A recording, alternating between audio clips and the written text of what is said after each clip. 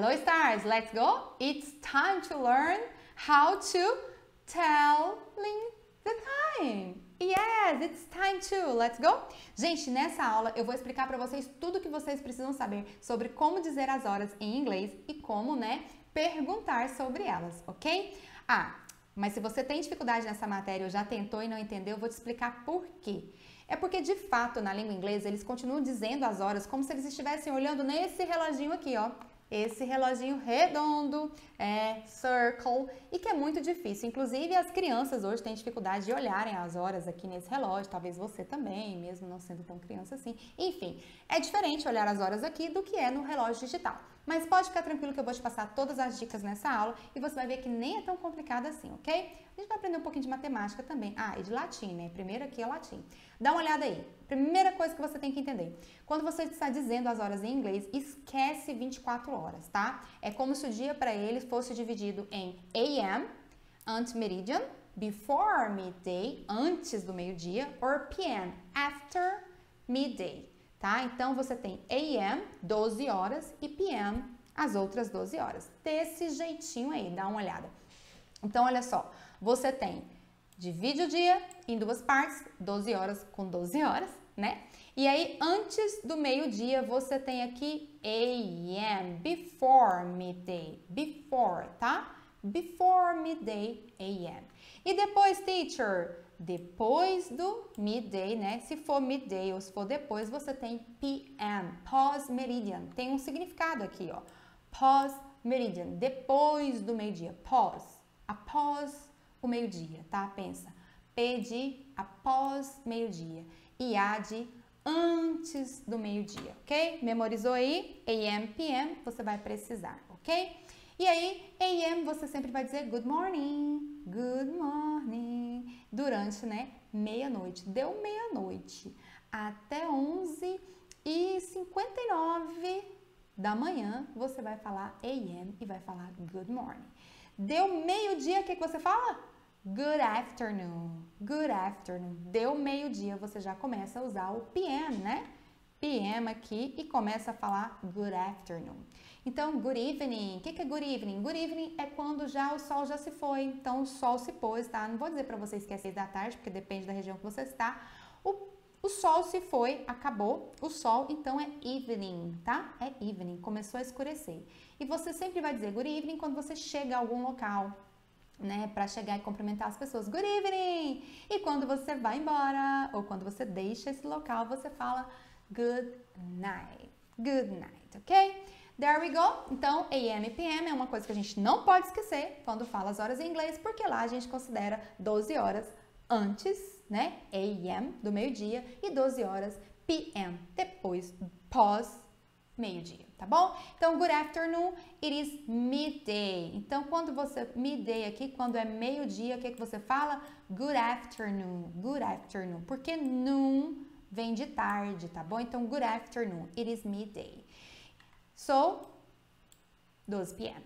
Isso. Se você quer falar meio-dia, você vai colocar 12 p.m., porque é pós-meridian. Depois do meio-dia é p.m., então meio-dia é 12 p.m., ok? 12 p.m. Good morning, it is midnight. Deu meia-noite, galera. Já é o quê? Midnight. E quando dá midnight, o que, que você fala? Good morning. Yes, you say good morning, ok? Então, e você vai colocar o quê? AM, que deu meia-noite, né? 12 AM. Ah, there's a difference, ok? USA and UK. Então, lá nos Estados Unidos, na região da América, o pessoal usa muito noon instead of midday. Viu que eu usei a palavra, palavrinha midday aqui? They would say, eles falariam assim, ó, good afternoon, it is noon. good afternoon, it is noon. Mas já mostrei para vocês da onde veio, né? Afternoon, ok? Now, guys, what time is it, teacher? What time is it? I don't know, what time is it? Tell me. Primeira coisa, o'clock.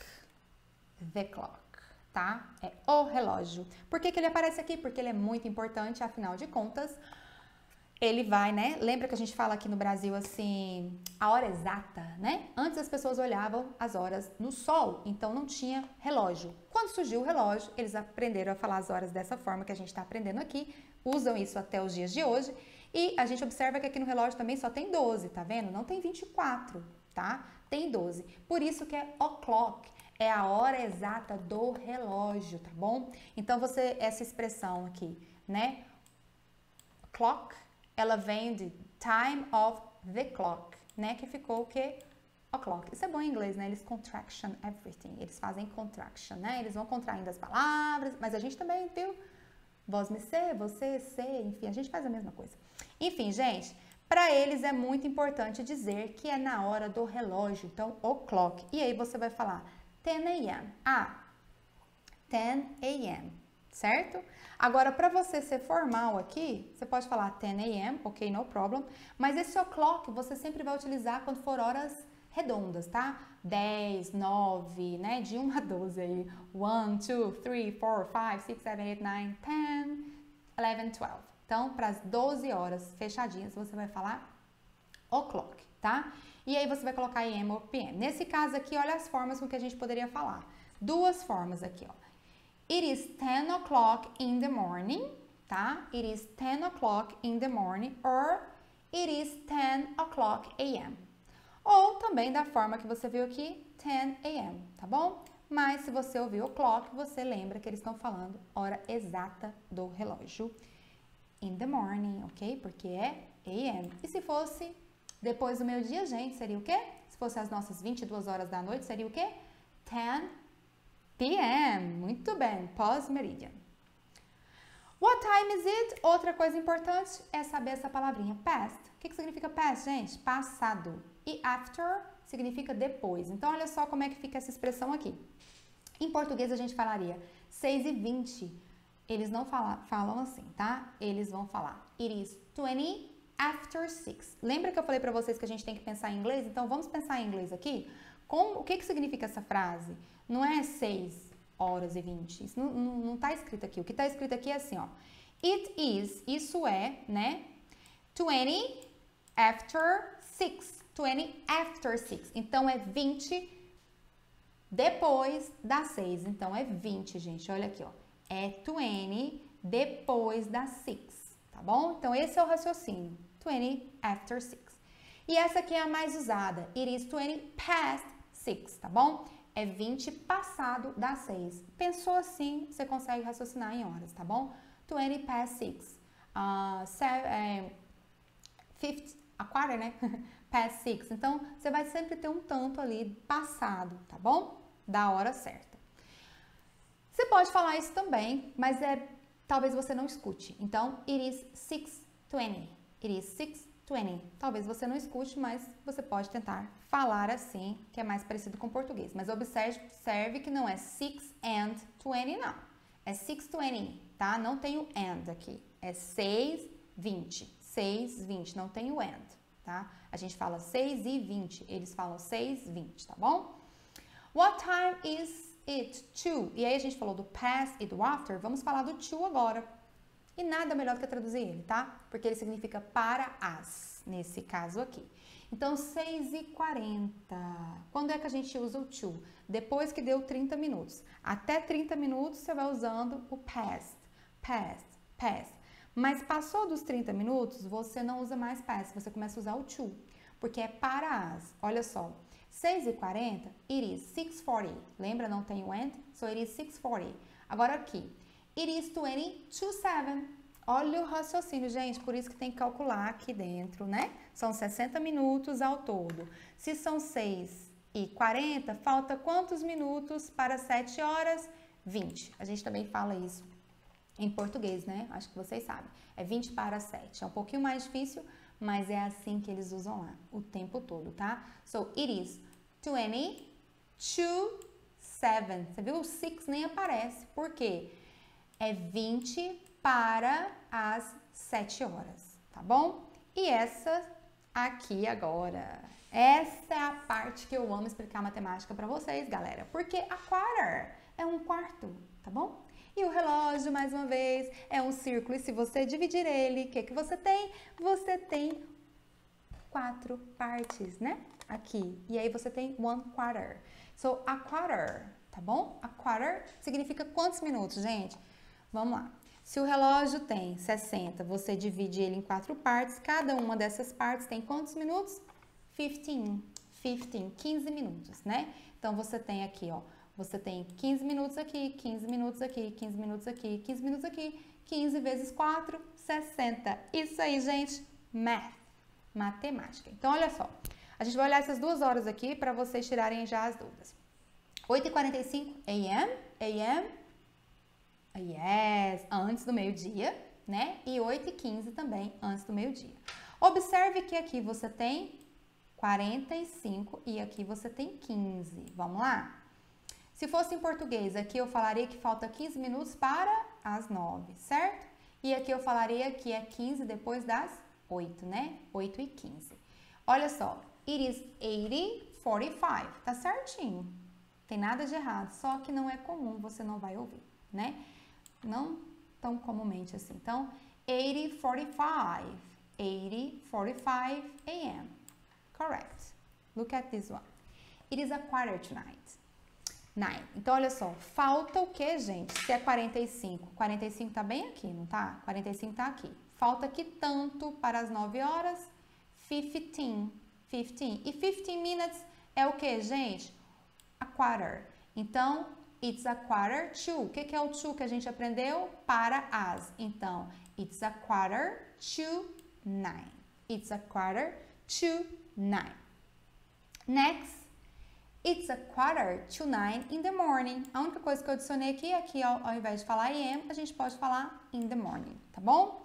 Mas it's a quarter to. Você não vai falar 8:45, né? 8:45. É muito fácil, mas infelizmente não é tão comum, então você tem que estar preparado para ouvir aí. A quarter to nine. Quando você ouvir a quarter, você já pensa 15 minutos. Aí pode ser to nine or past, né? Que é esse caso aqui, ó. 8:15, né? É 8:15, 8:15. Ok, AM, correct. Agora olha aqui, a quarter past 8. Nesse caso aqui a gente tem a quarter past 8. Então é um quarto passado das 8 AM. E aí, in the morning, tanto faz. Ok, gente? Fica ligado, tá? No a quarter, ele é muito utilizado e ele é um raciocínio matemático, tá bom? Que tem a ver com um quarto. Então, um quarto significa 15 minutes e aí pode ser a quarter to ou a quarter past. Ok? Chegamos ao final aqui. A última coisa que você precisa saber: half. 30, né? Lembra? Se a gente dividir o relógio em quatro partes, a gente tem quatro partes de 15 minutos. Porém, se a gente dividir o relógio ao meio, a gente tem duas partes e cada uma delas tem quantos? 30 minutos. E 30 minutos é exatamente o quê? Meio. E meio significa em inglês half. Então, half, ok? Olha aqui, half. Eu tenho half, ok? Meio. E aí, como que a gente vai falar as horas então, teachers? 2.30 p.m. 2:30 p.m., tá vendo? Não tem 14 horas, não existe isso. É de 1 a 12 e aí você usa AM or PM. Vou continuar falando isso até você memorizar. PM pós meio-dia, né? Pós meio-dia ali. Então ficou 2:30 p.m., gente. Pós meio-dia. O que, que você fala? Good afternoon. Você vai falar good afternoon. E aí, never it is two and a half. Você nunca vai usar o and, tá? Para falar horas. Então, você nunca vai usar two and a half. Isso aí é Two and a Half Men, é, um homem, é, dois homens e meio, né? Tem esse seriado. Enfim, mas não tem nada a ver com horas, tá bom? Agora olha aqui. It is half past two. Half past two. Isso é meio passado dois. Meio passado dois. Meio passado dois. Gente, memoriza. Como é que é as horas? Meio passado dois. Teacher, você vai usar o past. Por quê? Você poderia usar o after também, tá? It is half after two, mas não é tão comum que você de fato vai ouvir it is half past two, it is half past two, ou seja, meio passado de dois, ok, gente? Porque metade é 30, você também poderia ouvir it is 2.30, porque 30 é 30, né? 2.30, mas é, infelizmente, não é tão comum assim, é importante você memorizar o past, ok? That's it, guys. Finalizando aqui, só para você memorizar. O'clock, pontualmente, né? Então, quando for uma hora pontual, 10, 10, 12, em ponto, o'clock. E aí você tem o past or after, que você fala até o 30 minutos aqui. Então, past, after. E você tem o to, que é quando falta, né? Para as aqui. Você tem quarter past e você tem quarter to.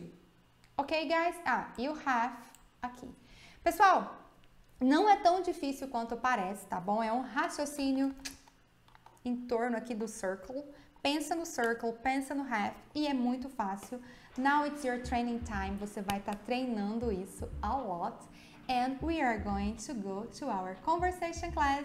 So, get ready to your conversation class. Na sua próxima aula de conversação, a gente vai praticar bastante. Eu tenho certeza que você nunca mais vai ter dúvidas de como falar. What time is it? It is, um, it is, I won't tell you. Bye!